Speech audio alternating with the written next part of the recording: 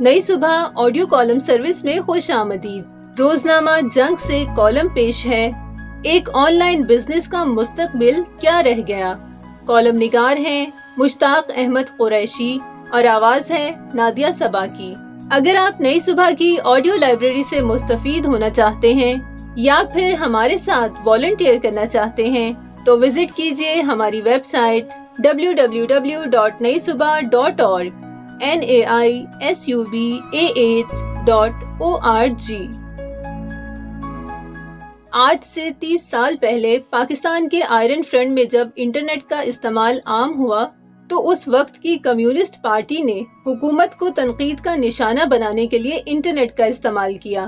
حکومت وقت کو منفی پروپیگنڈا کا سامنا تھا۔ کمیونسٹ حکومت نے اس انفارمیشن کے بہاؤ کو کنٹرول کرنا تھا۔ اور اس کے لیے ٹیکنالوجی ماہرین سر جوڑ کر بیٹھ گئے۔ اور انٹرنیٹ کی سروس فراہم کرنے والی کمپنیوں نے اس کا حل انٹرنیٹ ٹریفک کے بہاؤ پر کچھ قدغنے فلٹر انسٹال لگانے کا مشورہ دیا۔ یہ پہلی فائر وال تھی۔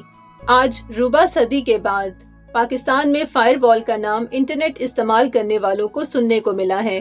ایک ماہر کے مطابق فائر وال اصل میں ایک ایسا سافٹ ویئر ہے جو کسی بھی نیٹ ورک پر آنے والے اور اس سے باہر جانے والے ٹریفک کو فراہم کیے گئے رولز کے مطابق بلاک کرتا یا اجازت دیتا ہے۔ چین میں دو ہزار تیرہ تک اس کا دوسرا مرحلہ مکمل ہوا تھا۔ فائر وال میں ایک چیز جو سب سے اہم استعمال کی جاتی ہے، وہ ڈیپ پیکٹ انسپیکشن ہے۔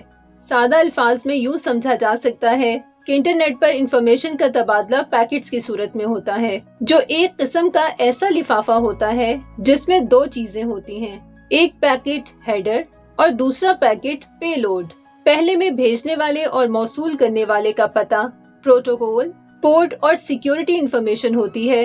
باقی پے لوڈ میں اصل میسج یا بھیجی گئی معلومات ہوتی ہیں۔ عام طور پر فلٹر یا فائر وال میں پیکٹ کا صرف ہیڈر چیک کیا جاتا ہے اور اس پر پیکٹ رول کے حساب سے عمل کیا جاتا ہے۔ میسج کے اندر کیا ہے وہ چیک نہیں کیا جاتا، لیکن ڈی پی آئی کی صورت میں پیکٹ کا اصل میسج بھی چیک کیا جاتا ہے۔ یہ جانچ صارفین کی پرائیویسی کا خیال نہیں رکھتی۔ ڈی پی آئی کا مقصد انٹرنیٹ ٹریفک کی جانچ کر کے کوالٹی کو بہتر بنانا، کھوج لگانا اور غیر ریاستی عناصر کا پتہ لگانا ہوتا ہے۔ ہر ملک کسی نہ کسی سطح پر اس کا استعمال کرتا ہے اور اپنے شہریوں تک معلومات کی رسائی کو کنٹرول کرتا ہے۔ اس کے استعمال کے کئی مقاصد ہو سکتے ہیں۔ ابھی حال ہی میں یورپی یونین نے ایک بل پیش کیا ہے، جس میں بچوں سے زیادتی کے بارے مواد کو سکین کرنے کی غرض سے ایسا سسٹم متعارف کروایا جائے گا، جس میں انتہائی محفوظ کمیونیکیشن سسٹم کے ٹریفک کو بھی سکین کیا جائے گا۔ سیکیورٹی اور حکومت کے اداروں کے لیے واٹس ایپ کی خفیہ، انکرپٹڈ انفارمیشن تک رسائی ضروری ہوتی ہے، جس کے لیے مخصوص سافٹ ویئر استعمال کیے جاتے ہیں۔ آج کا دور اے آئی مصنوعی ذہانت اور مشین لرننگ کا ہے۔ اگرچہ ابھی تک واٹس ایپ کی اس انکرپشن کو انتہائی محفوظ مانا جاتا ہے، کیونکہ ایف بی آئی کئی بار واٹس ایپ کی کمپنی میٹا کو عدالت کے ذریعے درخواست کر چکی ہے کہ اسے مطلوبہ معلومات تک رسائی دی جائے، لیکن واٹس ایپ کمپنی نے انکار کر دیا۔ چین نے اب جدید سوشل میڈیا ذرائع یوٹیوب، انسٹاگرام اور سرچ انجن جیسے متبادل ٹول کامیابی سے بنا کر مقبول کروا لیے ہیں۔ جس سے اس کی اپنی بنائی گئی ان اپلیکیشنز کی وجہ سے تمام مواد تک سو فیصد رسائی ممکن ہو گئی ہے۔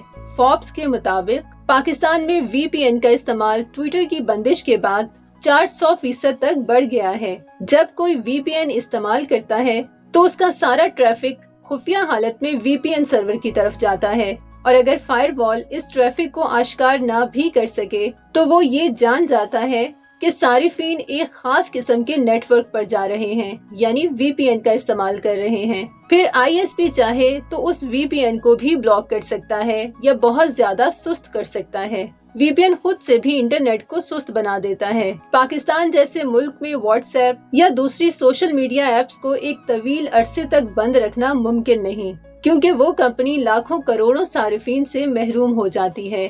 نوبت بائی رسید، کہ انڈیا میں گوگل اپنی آرٹیفیشل انٹیلیجنس اے آئی کے لیے مفت تربیت کا اعلان کر رہی ہے۔ اور دوسری طرف پاکستان میں Fiverr company Pakistani freelancer کے اکاؤنٹس پر تنگی لگا رہی ہے کہ پروجیکٹ دینے سے پہلے ایک مرتبہ سوچ لیں۔ کیونکہ اس ملک میں انٹرنیٹ کا مسئلہ ہے۔ کیا ہم اپنی حکومت کو اس بہترین کارنامے پر مبارکباد دیں؟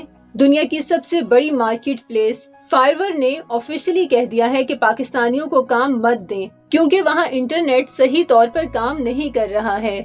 اس وجہ سے انہیں کام ڈیلیور کرنے میں تاخیر کا سامنا کرنا پڑ سکتا ہے۔ فائر وال ہے، یا جس وجہ سے بھی نیٹ سلو کر دیا گیا ہے۔ لیکن یہ تو طے ہو گیا ہے کہ اگر مزید چند ہفتے ایسا ہی ہوتا رہا، تو Pakistan online freelancing market سے آؤٹ ہو جائے گا۔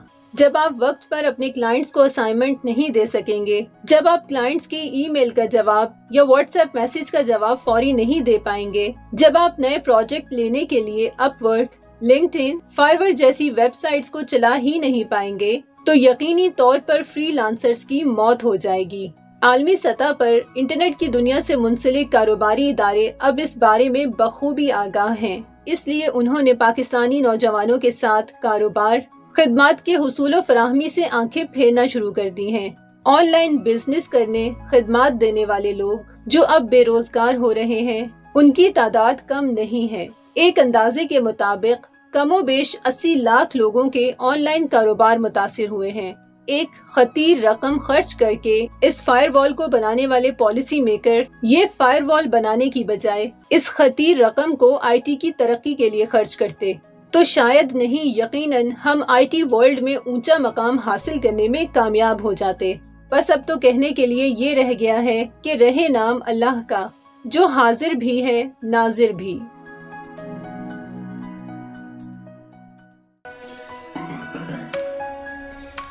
یہ معلوماتی مواد نئی صبح کی جانب سے پیش کیا گیا۔ اپنی آراء کے اظہار کے لیے کامنٹ کیجیے یا ڈسکرپشن میں دیے گئے رابطے کے ذرائع استعمال کیجیے